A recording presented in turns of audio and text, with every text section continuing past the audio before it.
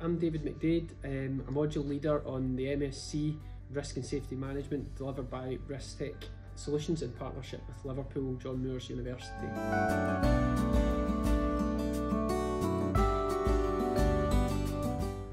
So the MSc is delivered 100% online and um, we use our platform Risktec Online.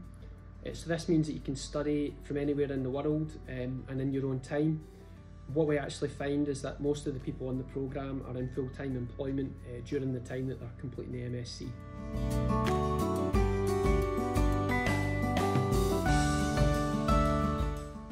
So the MSc is completed over three years. You do six modules in year one, another six modules in year two, and you do a dissertation in year three. Um, so each individual module has two compulsory assignments uh, and one larger end of module assignment, which is a larger essay that contains uh, critical thinking, uh, research and analysis.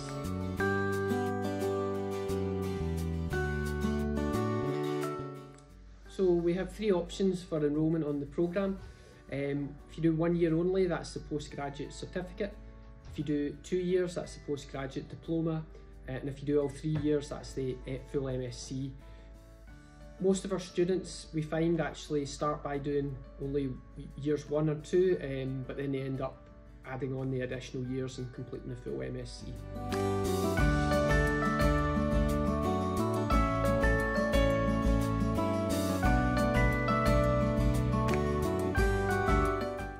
So you have a different, generally have a different module leader for each of the different modules.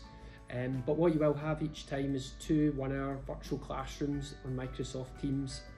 Uh, so students tend to get a lot out of the virtual classrooms. It's a chance to engage uh, with your fellow students and your teacher uh, to ask questions and share points of uh, interest.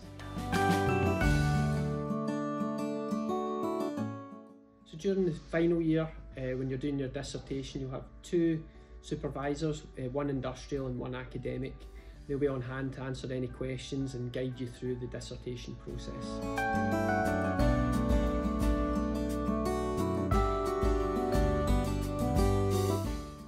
So as a module teacher, we're always available to receive questions throughout the time the module's running.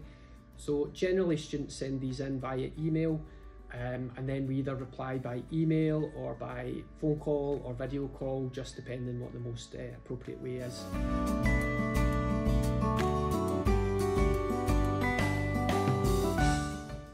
There's plenty of additional information available on the Risktec website. Uh, there's an inquiry form there um, and also you can send us an email at training at risktec.tuv.com. Um, I hope to see you all on the programme next year.